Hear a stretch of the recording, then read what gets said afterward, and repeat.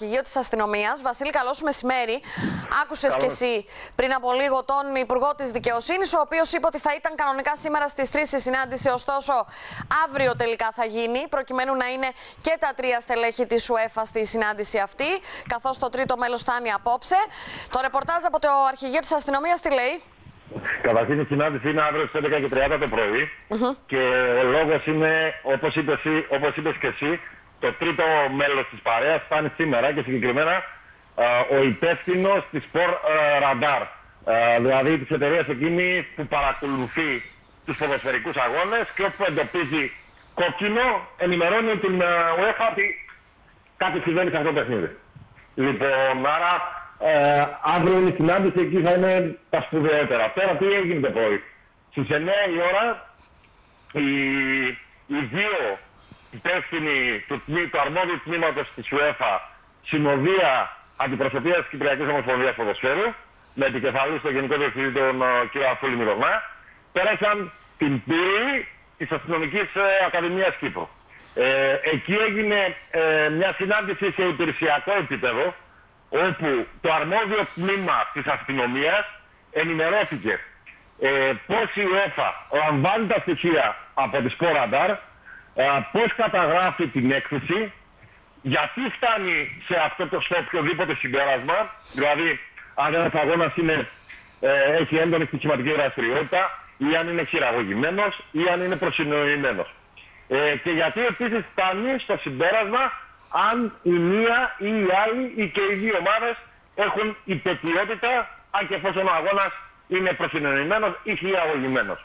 Ε, από εκεί και πέρα, ε, η αστυνομία θα ζητήσει από, την, από το αρμόδιο τμήμα της UEFA όλα εκείνα τα εφόδια και τις γνώσεις ώστε να μπορεί να αναλύσει το 100% την έκθεση της UEFA. Τι, ε, τι, δηλαδή, τι αναφέρουν τα σχεδιαγράμματα, τι σημαίνουν τα σχεδιαγράμματα, ναι. τι σημαίνουν οι διακοιμάνσεις των τιμών ανά λεπτό, ε, ενδεχομένως και ακόμα ανά δευτερόλεπτο. Όλα αυτά ε, είναι στην, στην ατζέντα της σημερινής συνάντησης, η οποία αναμένεται να τελειώσει μεταξύ μία μισή με δύο. Ε, επίσης, θα πρέπει να πούμε ότι υπήρχε η ενημέρωση από την Κυπριακή Ομοσπονδία Ποδοσφαίρου ότι σήμερα το απόγευμα το αρμόδιο τμήμα της UEFA θα ενημέρωνε τα σωματεία της πρώτης και της δεύτερης κατηγορίας το Σύνδεσμο Προπονητών και το Σύνδεσμο Ποδοσφαιριστών για το πώς φτάνουν στα συμπεράσματα μέσω των εκθέσεων που έχει. Η συνάντηση, η συνάντηση αυτή έχει αναβληθεί. Ναι. Ε, δεν ξέρω αν θα γίνει αύριο δεν υπάρχει έτσι ενημέρωση. Πιθανόν να μην γίνει κιόλας καν. Ε, και δεν ξέρω τον λόγο ακόμα για ποιο, γιατί φτάσαμε μέχρι εκεί.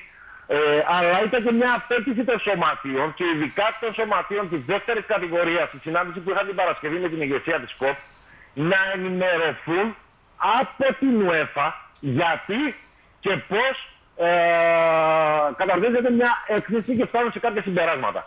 Ε, γιατί και τα ίδια τα σωματεία υποστηρίζουν ότι ε, δεν γνωρίζει κανένας, μα κανένας, πώς φτάνει η UEFA σε αυτά τα συμπεράσματα. Και τιμωρούνται οι ομάδες.